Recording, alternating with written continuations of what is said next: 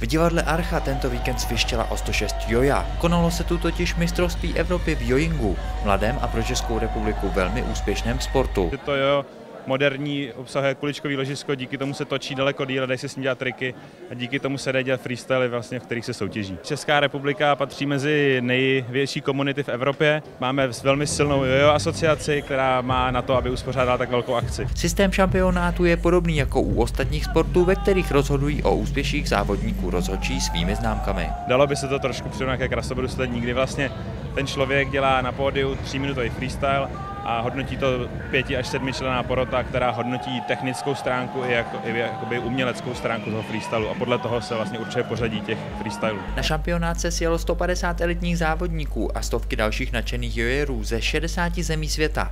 Ti nejlepší si to rozdali v sedmi kategoriích, včetně jedné v dívčí. Svá želízka měla rozhodně v ohni i Česká republika. Oba dva poslední mistři Evropy jsou Češi, takže doufáme, že i letos obhájíme, že buď bude Čech nebo jeden z těch předchozích obhájí. Už teď máme jednoho vítěze. Nejlepším českým jojerem je Václav Kroutil, který je mimo jiné mistrem Evropy z roku 2010.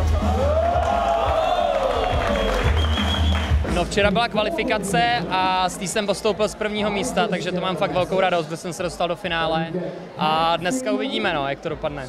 Rok od roku je to vždycky lepší a lepší, je tady fakt spousta lidí a to nejenom jak mladých jojerů z České republiky, tak i hrozně moc významných světoznámých jmen z celého světa, z Hongkongu, Japonska, Ameriky, všať. V České republice se možná příští rok uskuteční i historicky první mimoamerické mistrovství světa. Pokud by vyšlo všechno, tak by příští rok mohlo být v Praze mistrovství světa. Kdyby to totiž dopadlo, tak by to bylo fakt dobrý a pro český joing i světový by to podle mě znamenalo hodně.